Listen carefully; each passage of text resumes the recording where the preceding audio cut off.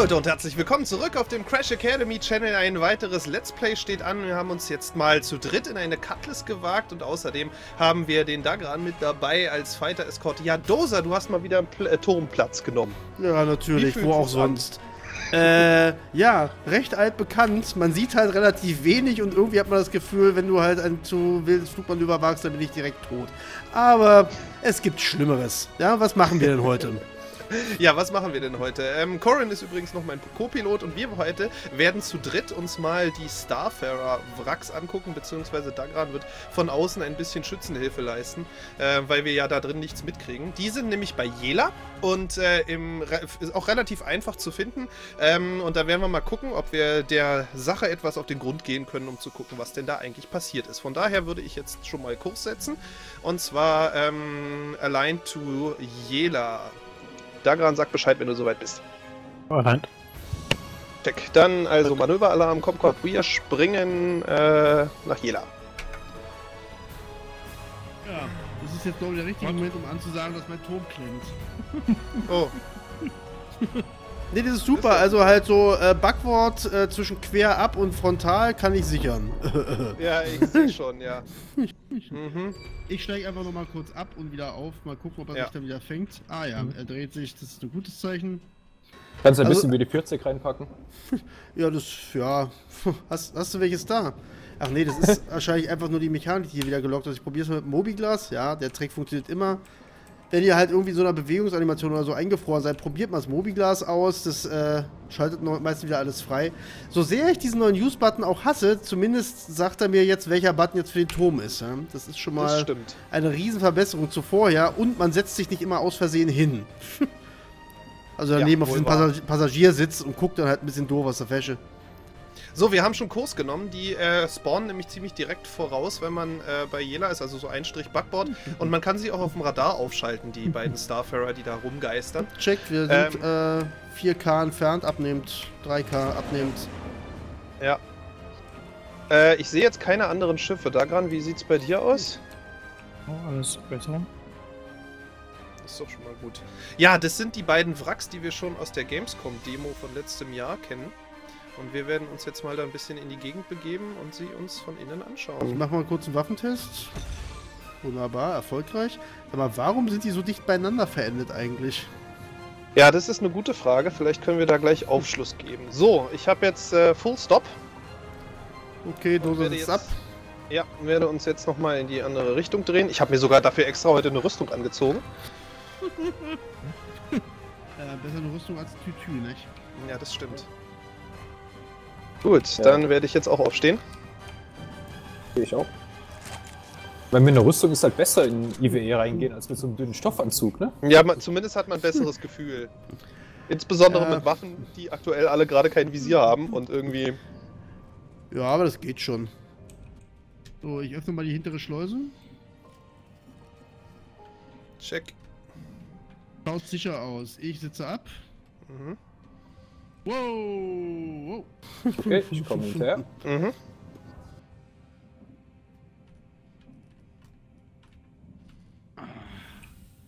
So, da sind wir jetzt. Äh, ich lass uns, lasst uns mal in die rechte von beiden gehen hier zu- als erstes. Äh, Eingang ist wahrscheinlich über den hinteren freigelegten Shot da oben halt an der Ja. Antriebsgondel, oder? Ja, man kommt oben rein und man kommt unten durch den Hangar rein. Aber lasst uns ruhig als erstes oben mal reingehen. Ja, und äh, Dagran, du hast die ehrenvolle Aufgabe, uns zu sagen, wenn da irgendjemand ankommt. Denn das kriegen wir da drinnen definitiv nicht mit. Ich halte die Augen offen. Das ist gut. Volle Fahrt voraus! Wuhu! Super, jetzt bin ich tot. Echt jetzt? Gestorben. How did that happen? Das weiß ich nicht. Vielleicht war ich ein bisschen zu schnell. Starfire des Todes. Eieiei, na, ich bin gleich wieder da. Okay, alles klar. Ich Wir bin hinter gucken. dir, Sawyer. Super, wir gucken uns hier drin jetzt schon mal um.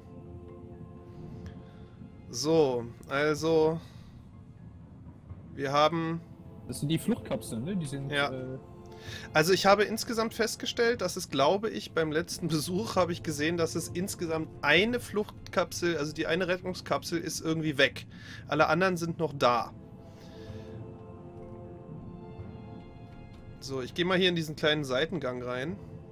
Ich weiß nicht mehr, es gibt hier halt äh, in diesem Schiff so äh, Datapads, die wir jetzt suchen, aber hier, hier unten ist auf jeden Fall keins. Ich weiß, dass ich einmal insgesamt fünf gefunden habe mit beiden Schiffen, aber ähm, ich weiß nicht, ob das alle sind. Von daher gucken wir uns das mal an. Dosa erstmal voll gegen die Wand geklatscht und das war's jetzt. Oh je, hoffentlich passiert Äh, einem das später nicht. Das ist neu, ehrlich gesagt, weil davon bin ich noch nie gestorben, also nirgendwo. Ich meine, ich weiß, dass wenn ich halt irgendwo zu schnell in Schwerefeld zu weit hochkomme, dass ich aufs Maul falle und mir eventuell was tue, aber draufgehen? In der Schwerelosigkeit? Hm. So, ich würde mal sagen, wir gehen jetzt hier mal nach oben, ja? Corin, Okay. über diesen Lift hier. Über den Lift Access, ja.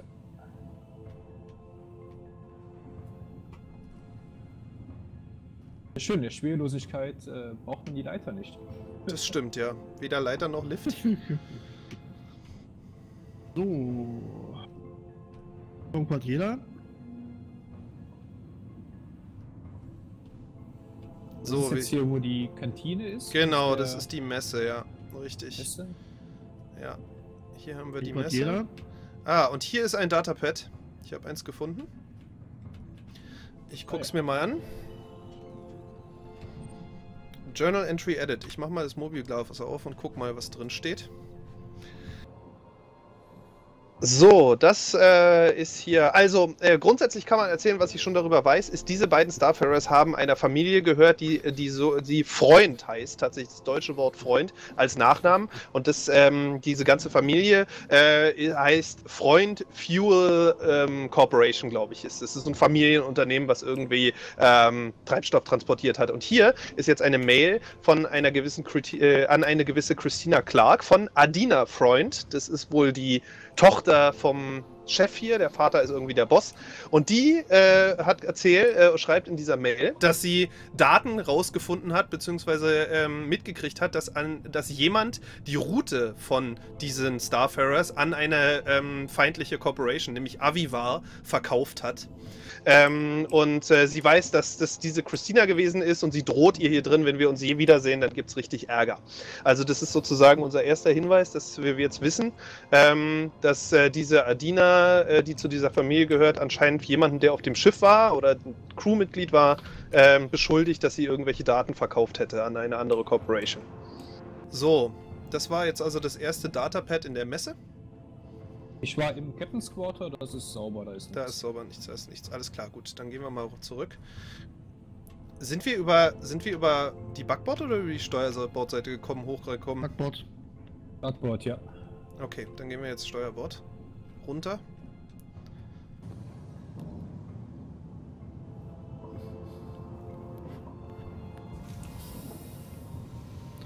So, ich bin wieder hier und habe eingepackt.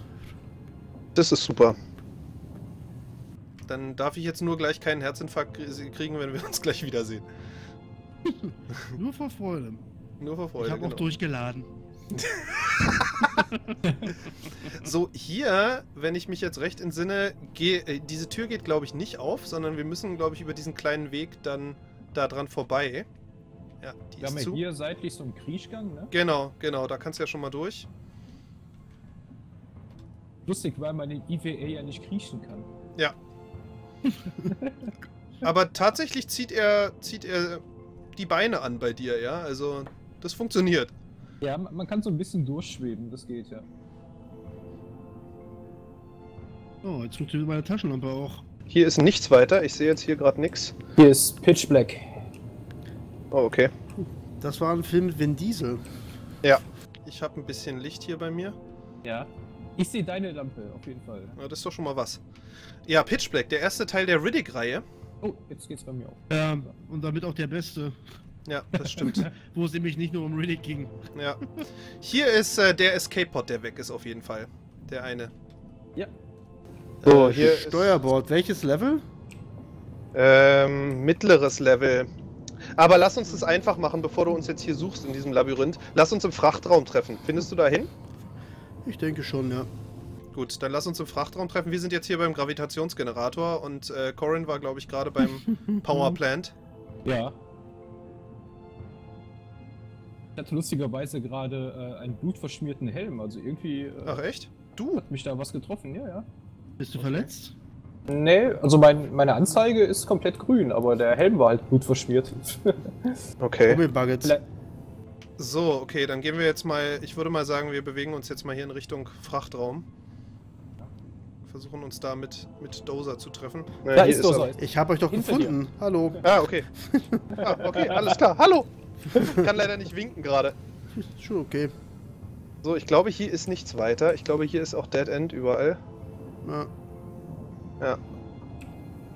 Gut, dann bewegen wir uns jetzt nach unten. Okay. Das ist schon ganz So. geil hier drin, finde ich. Ja, So uncool ist nicht. Ich sichere jetzt mal hier hinten raus zur Schleuse, auch wenn hier keine Sau ist. Ich meine, Dagan, du schreist, wenn du jemanden siehst, oder? Ja klar, hier ist alles ruhig. Das ist gut. Sehr gut. So, Wird ja wohl keiner sich im EVA jetzt hier 20 Kilometer anschleichen. will es nicht hoffen. So, warte Obwohl mal. Reason erwähnte mal, dass er das EVA-Modell so toll findet. Total begeistern. Also wenn das Rumgesuche hier noch lange dauert, dann gehe ich gleich zur Tür raus und fliege außen rum. Ja, es ist hier auch falsch irgendwie. Okay, so. sind- Geht nicht weiter, ja. Geh weg! Lass mich vorbei! Ich muss hier durch! Ja, ich mich durch! Mach auf! Geht nicht. Auch kaputt. Saftladen. Da Scheiße ist das doch. So viel Blech und nicht funktioniert. Da hinten ist ein Loch in der Wand. Das finde ich gut. Ah, hier geht's runter. Ich hab's gefunden. Hier geht's runter. Dozer. Ja, ja, falsch, hab einmal falsch. Ja, hier geht's auch runter. Das ist wunderbar. Also ich, ich nehme jetzt hier den Gang nach unten. Deine Pfadfinder-Skills. Uh, ich habe eine Kiste gefunden. Geil. Was gibt's denn da? Ist da Alkohol drin? Keine Ahnung, ich gehe mal gucken. Ihr könnt ja mal bei euch gucken, wo es runtergeht, ob es da was gibt. Jetzt, Ich gibt's bisher hier. nur Treppe, äh, Treppe leider. Nur Denk Tritte. mal, das führt in den Frachtraum, die, die Treppe. Ja, die Treppe, das, das, ist die, das ist auf jeden Fall der richtige Weg. Ich wusste nur nicht mehr, an welcher Seite es runtergeht, aber hier ist es richtig. So, jetzt habe ich hier auch schon irgendwie. Warte mal, stehen jetzt hier die Dragonflies drin? Oh, geil. hier sind auf jeden Fall abgepackte Kisten überall. Ja, ist richtig. Nice, warte mal, wo war denn Und das ich jetzt glaube, hier? Boing. du findest. Ähm, siehst du diesen Fuel-Container da auf der, auf der Steuerbordseite? Rechts von dir oder hinter dir jetzt vielmehr. Da ist noch ein Datapad. Ja. Siehst du das blinken? Ja. Hä? Schau ich mir mal das? an. Oh, sorry. Oh, das ging. Das war knapp. Egal. Also hier ist noch ein Datapad. Ich glaube, das war eins der komplett unsinnigen. Oder zumindest eins, was einem nichts sagt. Ihr könnt euch das gerne selber nehmen. Ich trage es dann währenddessen mal vor. Mal. So, also Journal Entry. Was haben wir jetzt hier? G. Walsh. Und zwar von Summer Davis äh, an Summer Davis von äh, Galen Walsh. Keine Ahnung, wer das ist. Und da geht's um Third Draft Revisions. Irgendwie erzählt er, dass er ähm, während der letzten paar Stunden die ganze Zeit auf der Brücke war und über irgendwas nachgedacht hat. Und dann hat er irgendwie eine Erkenntnis gehabt und ist, er hat sich von der Brücke geschl äh, geschlichen und hat jetzt geschrieben, dass sie das Draft insofern, also den Entwurf, beenden sollen, dass am Ende der Partyszene irgendwie die Schmu dass, äh, ein, es ein Schmuggler-Compartment gibt, bla bla bla. Es geht hier um ein, eindeutig um ein Drehbuch, was die beiden geschrieben haben oder was die Mhm. beiden gerade schreiben. Und äh, er ihm jetzt sozusagen die neueste Idee äh, dazu geschickt hat und der Kapitän dann inzwischen das aber bemerkt hat und schon ihn anbrüllt, deswegen darum er nicht auf seinem Posten ist. Also ich glaube jedenfalls nichts, was uns storytechnisch jetzt hier weiterhelfen würde. Äh, Du warst doch immer das Herzchen im Deutschunterricht, ne? Beim Zusammenfassen hat der Lehrer dann immer hinterher gesagt, naja, war alles drin, aber das nächste Mal machen wir vielleicht doch noch mal ein bisschen sorgfältiger, ne? na, ja, äh, du kannst gerne den nächsten zusammenfassen, wenn du möchtest. Nee, ist schon okay, du machst es so gut. Wie gesagt, du warst doch immer das Herzchen. Ja, ja, genau.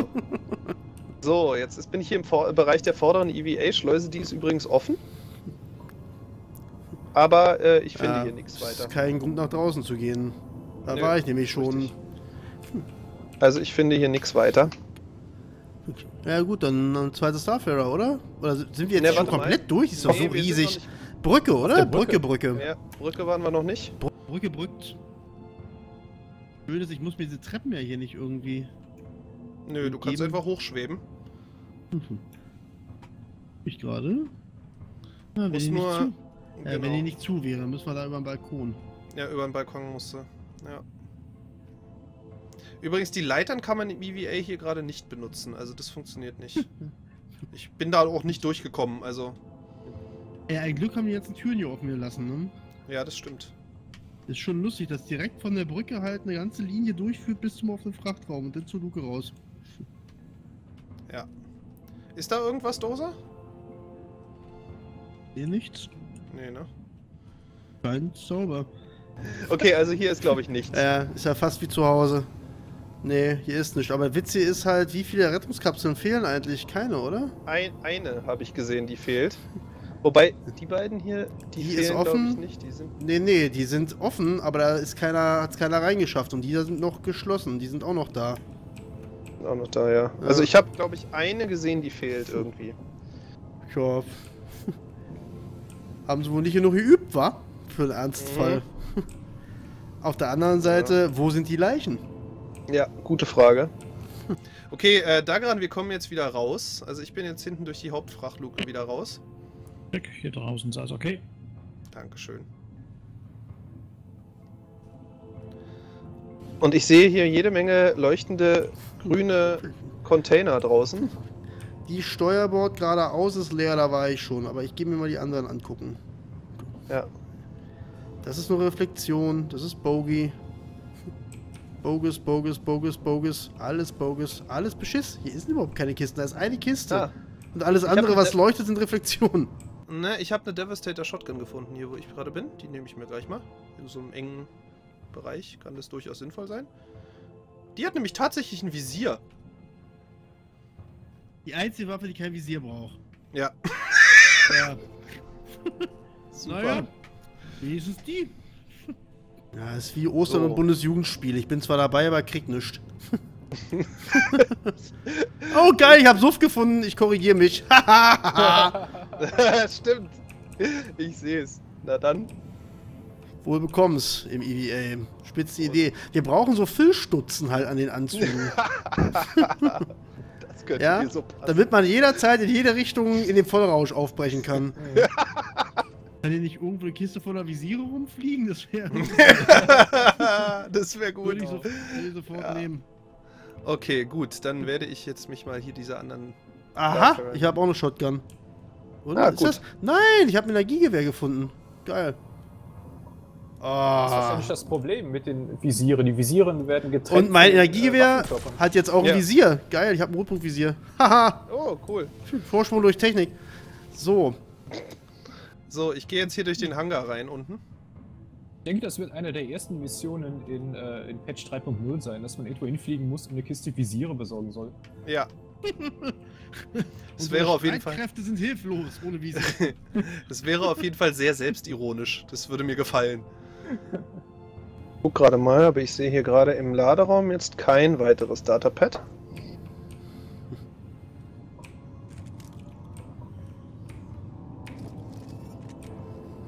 Nee. Ich gehe mal ähm, vorne in die Luftschleuse. Guck mal, ob da irgendwas ist. okay, ich check die Brücke.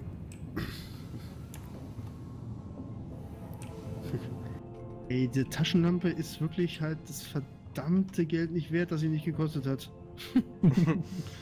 Immerhin. Hier ist auch wieder alles offen. Und die Rettungskapseln sind genauso konfiguriert wie auf der anderen Seite. Hm, ein Schelm, wer Böses dabei denkt. Oh, aber hier war noch, hier war noch ein Data, hier ist ein Datapad auf der Brücke. Na gut, dann darfst du jetzt mal zusammenfassen. Ah, super.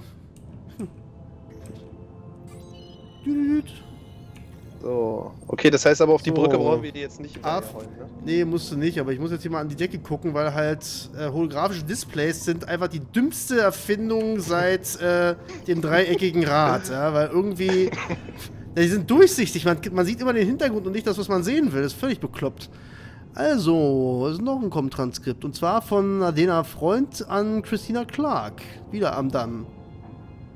Seriously, screw you guys. Free runs. I've done free runs for you and still haven't gotten paid. You aren't the only ones with debts to pay and... Das ist okay, sie ist sauer, weil sie nicht bezahlt wurde. Mhm. Okay. if you guys actually Also, made sure your clients paid on this time wouldn't happen more once than seemed... Was willst du jetzt halt äh, fertig machen, oder was? Naja, also zumindest habe ich, äh, äh, weiß man jetzt, dass die beiden einen Konflikt miteinander hatten, denn dass die Christina sagt, sie ist nicht bezahlt worden für ihre Arbeit hier und die andere erzähl, äh, wirft ihr vor, dass sie irgendwelche Daten verkauft hat an irgendeine andere Corporation.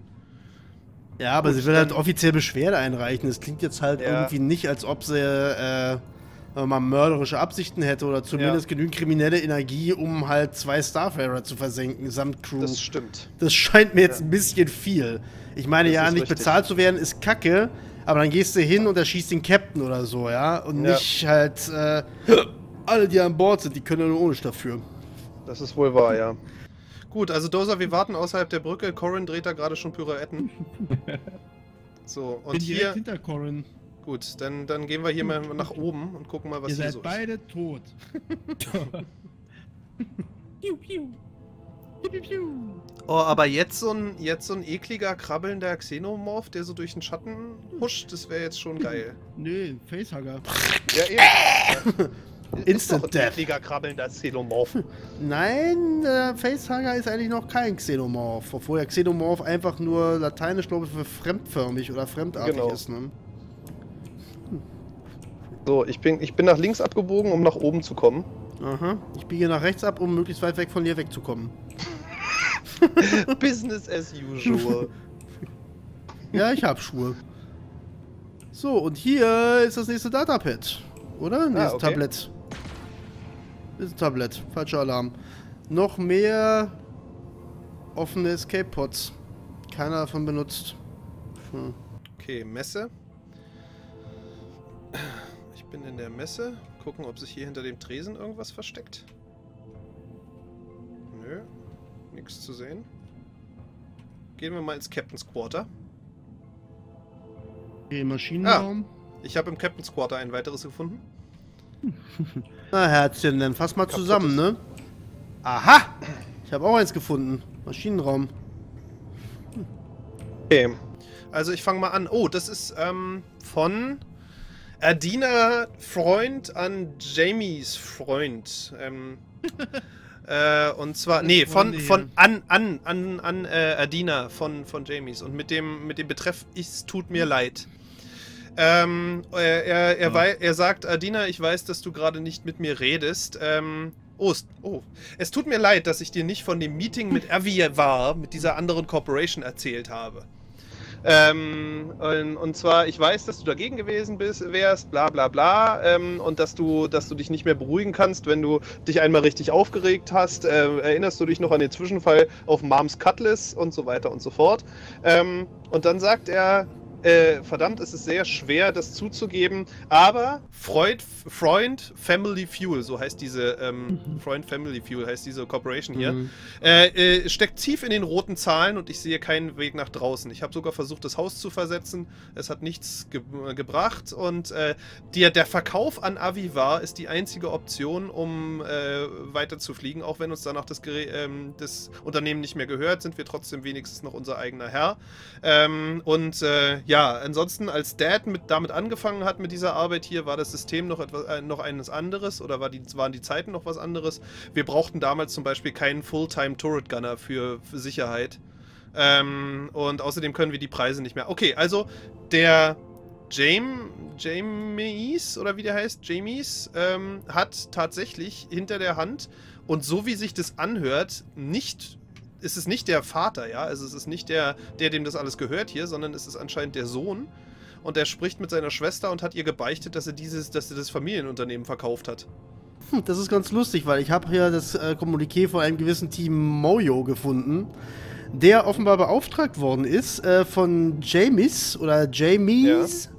Ja. Ähm, auf jeden Fall ist das Kommuniqué an ihn gerichtet, halt den äh, Marktwert der Starfarer, auf der wir uns befinden, zu ermitteln.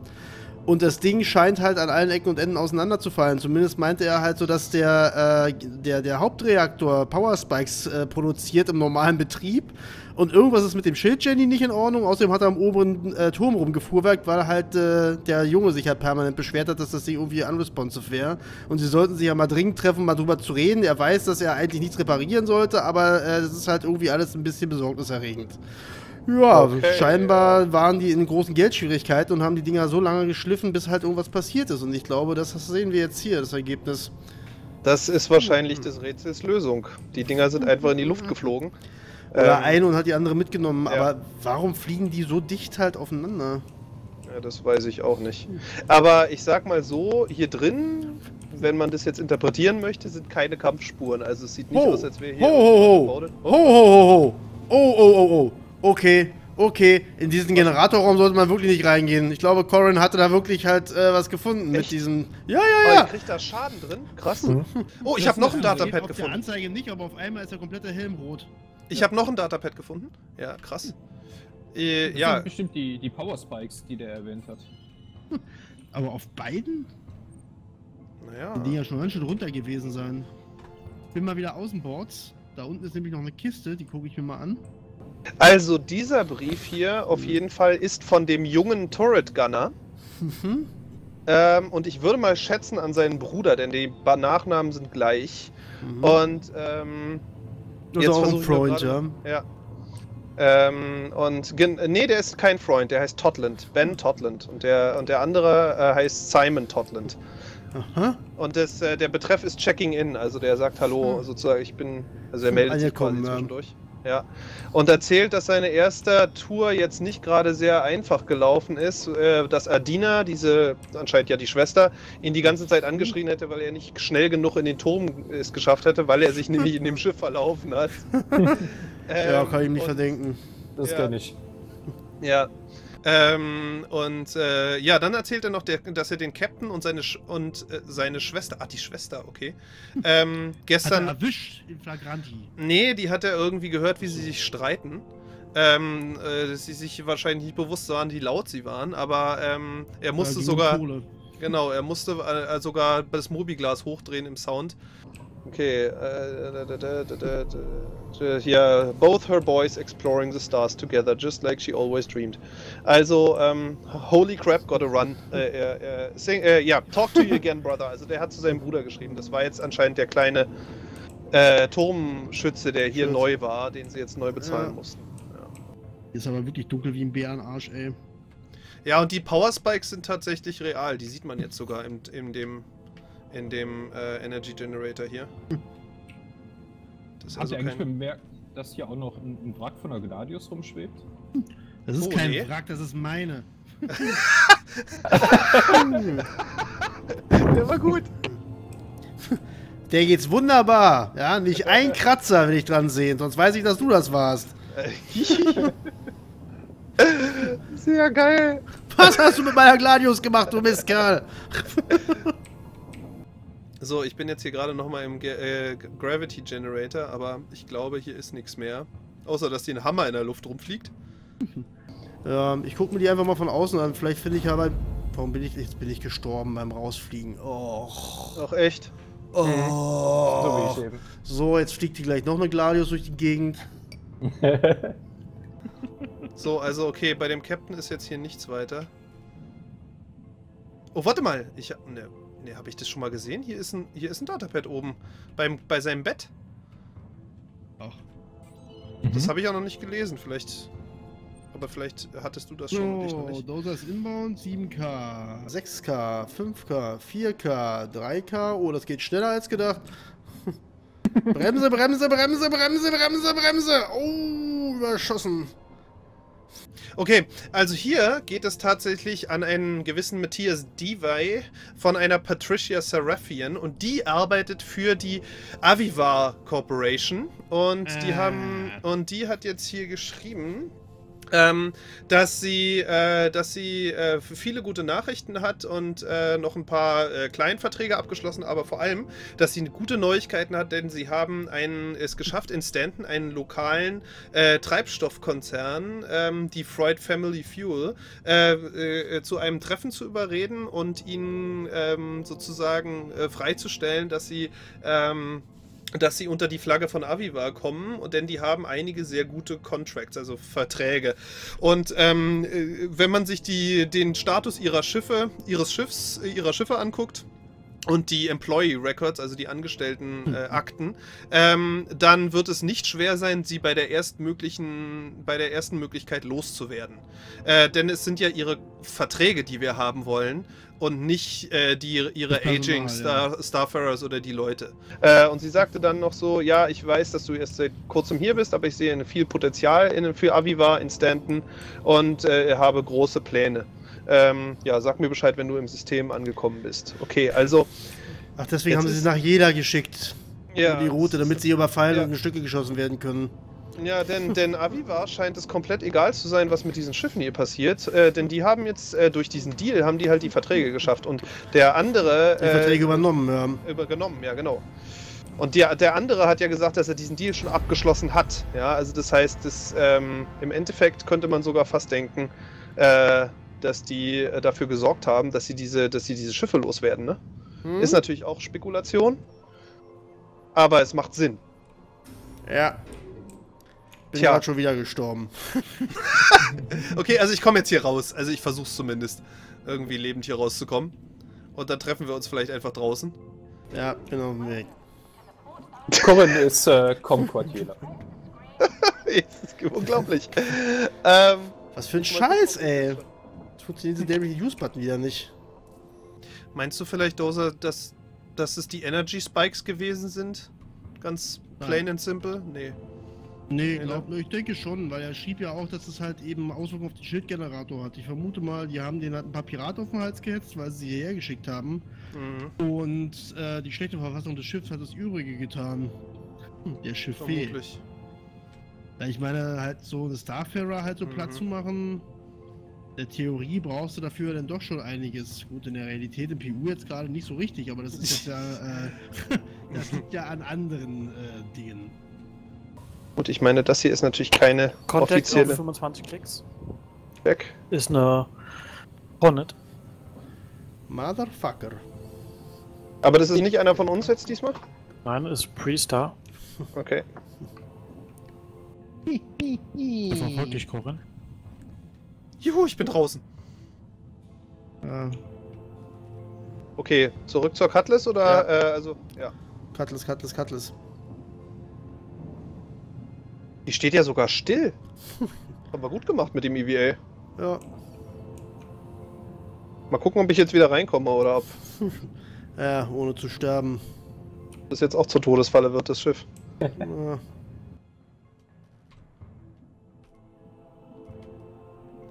Und hinein. Jo!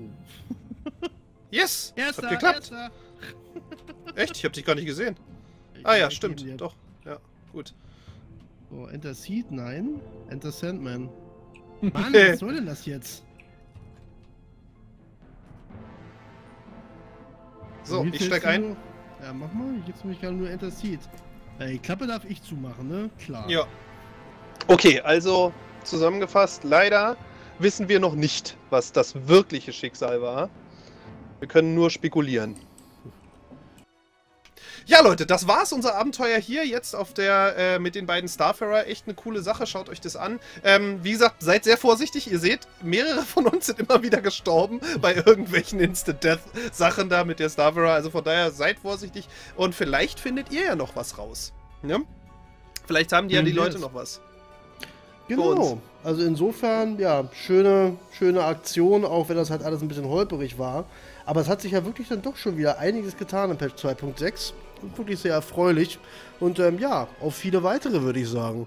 Aber so ist es, in dem Sinne. Ja, und ich äh, mache jetzt das, was wir euch schon vorher gezeigt haben, nämlich Stonehenge. Dozer, das gucken wir uns jetzt zusammen an.